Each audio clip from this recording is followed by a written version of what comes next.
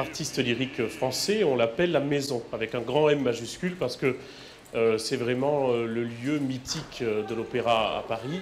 Je me rappelle la première fois, j'étais encore à l'école de l'opéra et je me suis dit, bon, ben, Calas, Cavalier, toutes les grandes et tous les grands sont venus ici, sont passés par là où tu passes. Donc ça conforte, on va dire, dans le, dans le parcours artistique.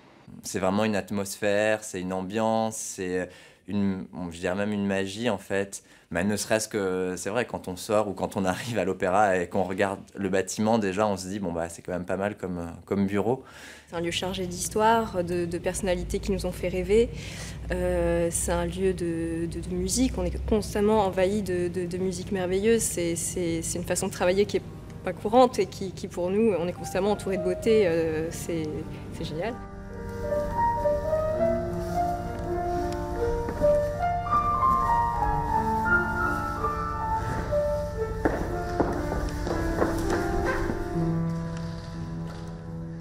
L'Opéra Garnier, un joyau d'architecture.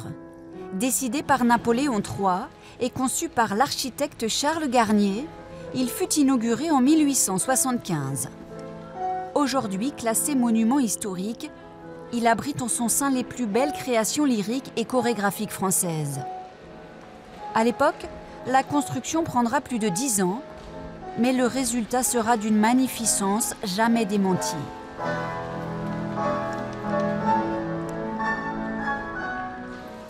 Gilles, l'intendant de l'opéra, est sans aucun doute celui qui connaît le mieux le bâtiment et ses 11 000 mètres carrés. Cela fait 40 ans qu'il travaille ici. Alors j'ai les clés de quasiment tout. quasiment tout. Euh, euh, c'est aussi le, trousseau d'une vie. Hein. C'est un peu mon jardin secret, donc euh, voilà. Je viens de temps à autre m'isoler sur le toit. Vous êtes juste derrière l'Apollon, donc à l'endroit le plus haut de l'opéra. C'est un endroit que j'aime particulièrement et euh, qui est vraiment euh, euh, empreint de sérénité. Ici, vous dominez Paris et vous avez l'impression que Paris vous appartient.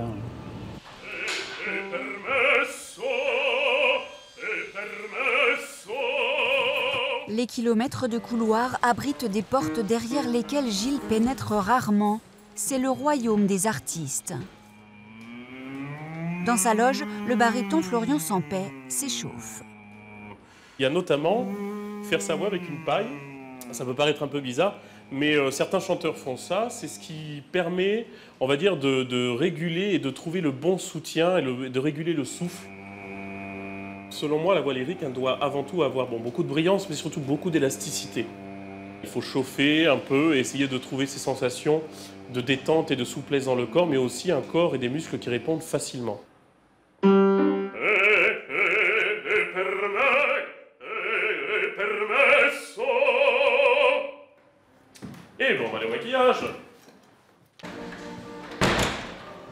Nous sommes à quelques minutes de la représentation. Florian est l'un des quatre solistes dans l'opéra de Donizetti, Don Pasquale. Bonsoir tout le monde Ça va Il faut toujours comprendre que tout peut changer très vite et que c'est bien d'avoir atteint un certain niveau, mais que le travail doit être axé, canalisé pour euh, y rester tout simplement. Euh, et, avancer tout doucement. Le but est bien sûr que la carrière dure 35-40 ans et non pas 10 ans et puis qu'on n'entend plus parler de, l'artiste.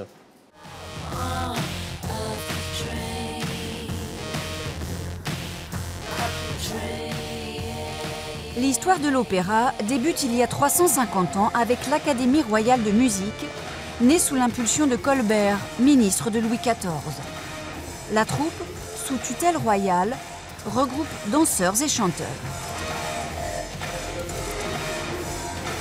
Aujourd'hui, le corps de ballet comprend 164 danseurs appelés à participer à des chorégraphies classiques ou contemporaines.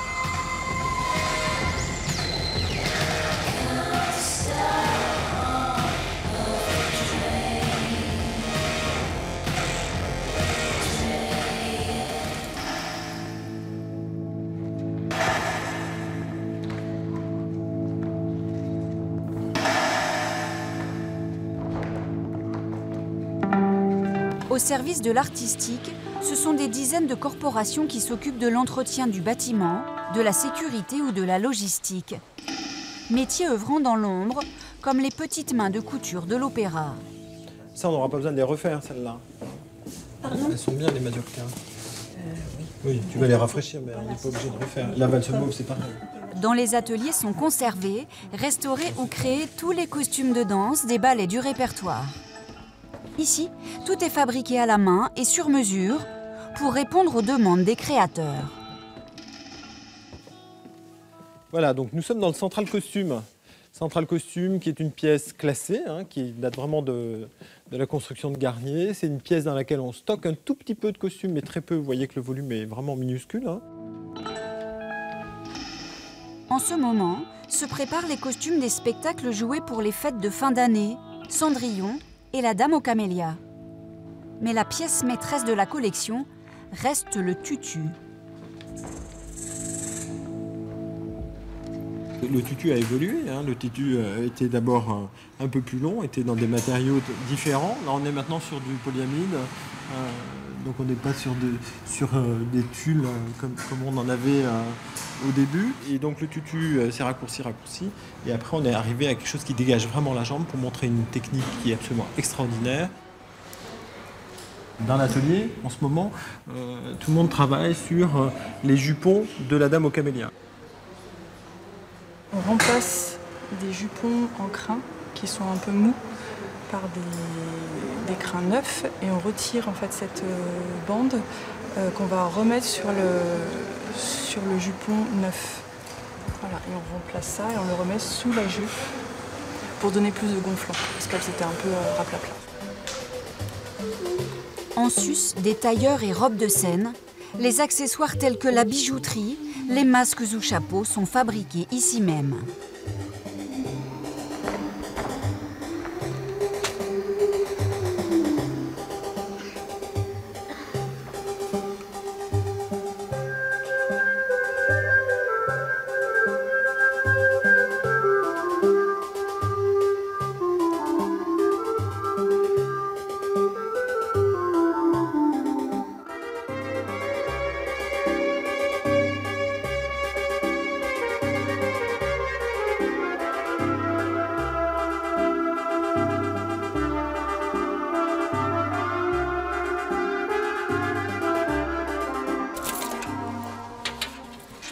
Dans ce bâtiment aux mille passages, il en est un inaccessible au commun des mortels. Alors là, vous êtes dans ce qu'on appelle le collier de perles, qui est euh, juste sous le plafond de Marc Chagall, euh, qui est composé de, bobèches euh, en opaline, qui donne une clarté, qui éclaire le plafond d'une façon complètement magique. C'est un endroit un peu particulier parce que parce que c'est ici qu'ont été faits tous les enregistrements pirates de Maria Callas, de Luciano Pavarotti, dans les années 50 et dans les années 70, lorsque les monstres sacrés se produisaient ici. Euh, bien sûr, il y avait des, enregistrements pirates. Comme on ne pouvait pas les faire dans la salle, euh, tout, tout s'était fait ici. Direction à présent les sous-sols de l'opéra.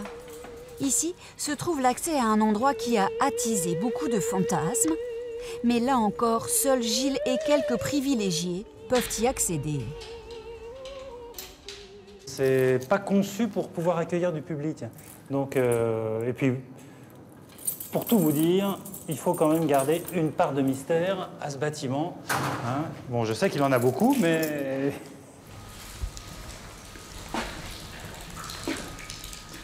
Souvenez-vous, c'est par là que s'enfuient les héros dans la Grande Vadrouille. Mais dans le film de Gérard Houry, comme en temps normal, ce réservoir est rempli d'eau.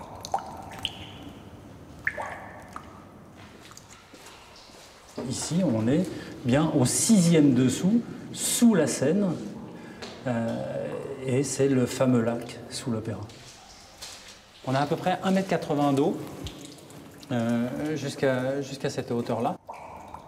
Cette particularité du bâtiment n'était pas imaginée à l'origine. C'est pour pallier un imprévu que l'architecte décida de garder le bassin. Lorsque Charles Garnier commence à construire, il fonde bien sûr le bâtiment le plus haut au début. Donc ils fondent la cage de scène.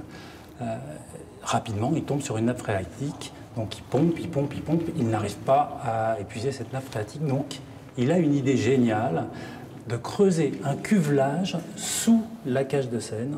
Hein, euh, qui permettrait de lester le bâtiment, de le quiller, comme on quille un bateau, de tirer la cage de scène vers le bas, de le lester et de rapprocher les deux autres bâtiments. C'est un endroit euh, tout à fait inédit puisque très peu de personnes l'ont vu vide. Euh, là, on va le re-remplir, je pense, pour une bonne vingtaine d'années, et donc plus personne ne le verra.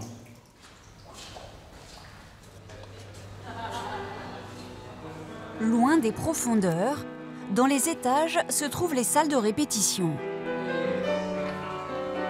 Dans le studio Nureyev, les étoiles Mathieu Gagnon et Léonore Bolac débutent leur journée par le cours de danse. Tous les danseurs se plient à l'exercice, quel que soit leur niveau.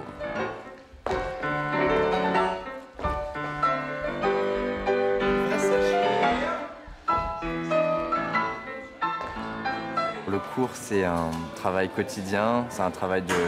On remet en question à chaque fois euh, les acquis, il faut sans cesse revenir aux bases, euh, se replacer, parce qu'en plus aujourd'hui on fait beaucoup d'alternance entre le classique, le contemporain, les créations des styles différents. Et du coup le cours du matin permet de vraiment tout réaplanir euh, et de garder une hygiène de vie physique en fait, qui est très importante pour nous danseurs. Le corps c'est notre instrument, c'est avec ça que on transmet euh, tout ce qu'on a à dire en scène et, par lequel passent les émotions et l'esthétique et tout ça. Donc c'est très précieux pour nous. C'est parfois même euh, trop. Enfin, ça, peut nous prendre aussi la tête euh, par rapport à trouver la bonne, la technique qui nous va pour le moment, des exercices qui sont adaptés à ce qu'on est en train de faire ou aux douleurs qu'on doit gérer. Donc c'est chacun fait un peu sa sauce et il faut aussi s'adapter avec l'âge le corps change selon l'âge, selon les parcours, selon les expériences qu'on fait. C'est, là aussi, c'est quelque chose de quotidien comme travail, comme recherche. Mathieu a été nommé danseur étoile il y a 14 ans, à l'âge de 20 ans. Danseur étoile est la distinction la plus élevée du corps de ballet. Les étoiles sont d'ailleurs les seules à posséder une loge attitrée. Il y a toute ma vie, ça fait 12 ans que je suis dans cette loge. Et il y a, enfin, voilà, il y a tous mes souvenirs de, de danseurs ou de vie en tout cas passée à, l'opéra. C'est important, enfin, c'est quelque chose de... Moi, je dirais pas sacré, mais c'est vrai que c'est un, lieu dans lequel on se ressource, dans lequel on se concentre, dans lequel on passe, euh, on passe du temps à s'investir euh, pour notre, pour notre métier, pour nos personnages.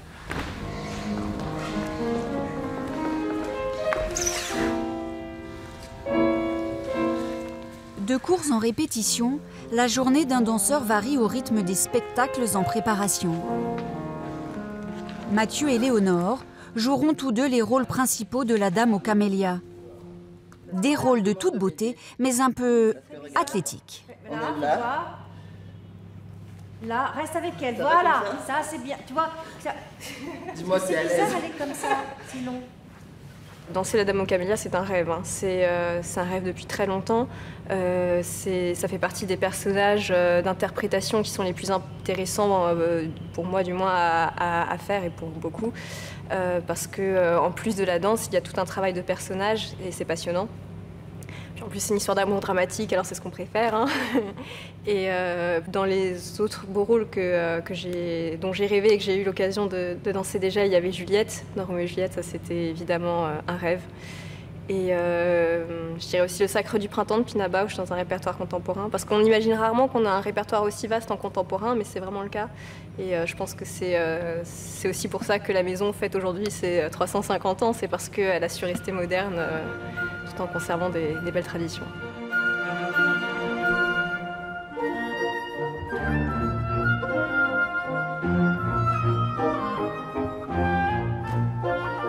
Et quand arrive la représentation, c'est par le grand escalier, remarquable par ses dimensions et son tracé, que l'on accède au Saint des Saints. La salle de l'Opéra Garnier et ses 2000 fauteuils ont conservé leur couleur rouge et or du Second Empire. Pendant que les musiciens s'installent, dans les coulisses, le baryton Florian Sampet s'apprête à entrer en scène.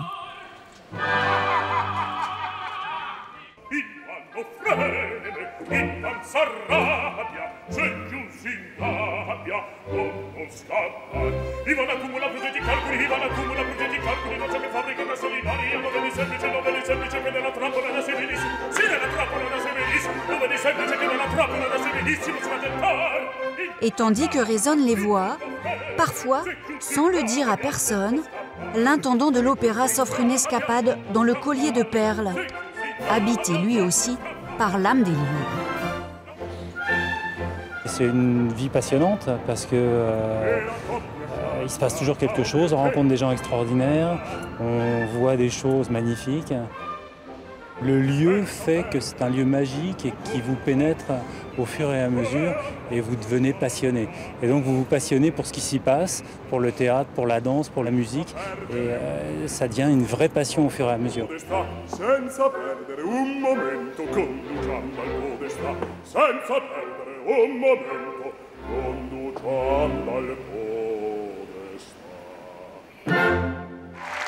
L'Opéra Garnier, où des générations de techniciens, d'artistes et de spectateurs réunis par l'unique amour de l'art.